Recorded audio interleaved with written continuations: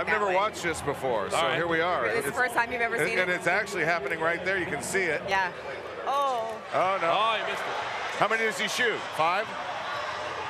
I don't know. At least three. Okay, five of them. He, look, he looks kind of winded from his warm-up, right? Let's see. I think that's his concentration face. Whoa! That, Oh, boy. that was awful. That was That's air really ball bad. there. We, we tried to throw one in from half court at Duke, North Carolina, and that was impossible. I, Yeah, I that's couldn't even hit the rim. So I have a lot of respect for if he can even hit the rim. All right, let's see what he's got here. There it is. No, Oh, not even oh, another close. air Oh, ball. Uh-oh. Wow.